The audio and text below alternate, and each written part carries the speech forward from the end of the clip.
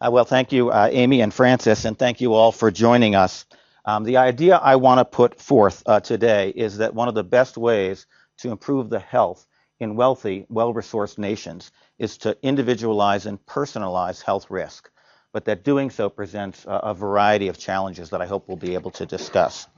So, um, the three biggest killers uh, in the US are heart disease, cancer, and stroke. Over the last 40 years, death by heart disease and stroke has been cut in half. However, cancer kills people in the US at the same rate now as it did 40 years ago. So here's our riddle for you. Um, what do a scarf, Groucho glasses, and a pair of handcuffs have in common? Right? So they're all one size fits all. That's why they make such easy gifts. I want to argue that some of the reason that we have seen advances against cardiovascular disease is that we have not used a one size fits all strategy against cardiovascular disease, but perhaps we have been using that in other areas. So, for example, some of you know that the U.S. Preventive Services Task Force recently got some considerable pushback when it questioned the value of mammography for women under the age of 50.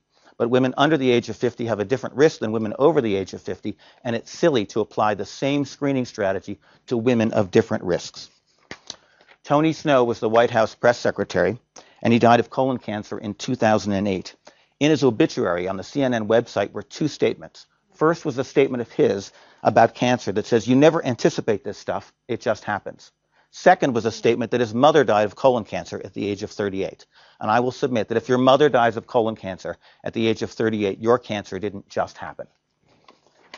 So uh, Tony Snow was at high risk, and people's risk of disease varies. The population approach to managing this risk is to move everyone over to the left by applying the same strategy to all individuals in the population.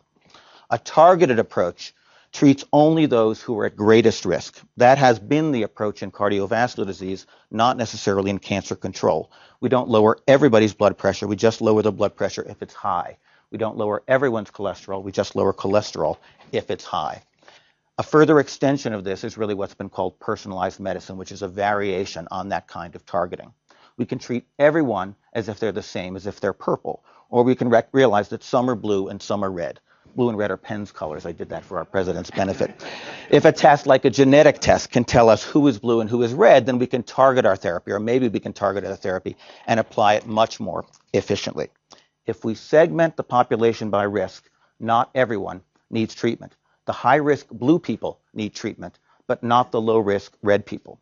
That's very important because it means that personalized medicine shrinks the market that's available so that it, uh, the market for drugs is considerably smaller. And for that reason, there might be much less money to be made and less, much less interest in innovation in that regard. Let me go back to cardiovascular disease. Here's the fall in average US cholesterol during that 40 year period. At the population average level, it didn't fall very much but that population average disguises what really happened, which is at the individual level, cholesterols among those people had high cholesterol fell considerably more. And that's why we see such a profound effect in cardiovascular disease and why a seemingly low level of, of cholesterol reduction explains probably 20 to 25 percent of the reduction in cardiovascular mortality. And it's not just about screening and prevention, this also applies to treatment. So if you're unlucky enough to have a chest x-ray that looks like this with a big lung, lung, uh, lung tumor up there, uh, until recently, if you had a non-small cell lung cancer like this and it was too large to be removed surgically, uh, really your options were chemotherapy and radiation therapy, and pretty much everyone gets the same treatment. But now you can do molecular testing of the DNA in the tumor itself, and that testing can help determine whether certain chemotherapeutic agents are likely to work for you or not. Before that, we would have applied that chemotherapy to everyone uh, and suffering the cost and the toxicity of that chemotherapy. In breast cancer, uh, there's a drug called Herceptin that's used to treat breast cancer, but it works only for those who overproduce a certain chemical. The same company that makes Herceptin also produces a test that tells if you're one of those people that produces too much of that chemical. If you make the drug and you also make the test, and you make the drug really expensive, then you add value to the test because it becomes more valuable the more expensive or more toxic the drug is. Now, of course, only a few nations in the world are really able to support this kind of healthcare, and personalized medicine really might be considered alongside other luxuries of the richest nations.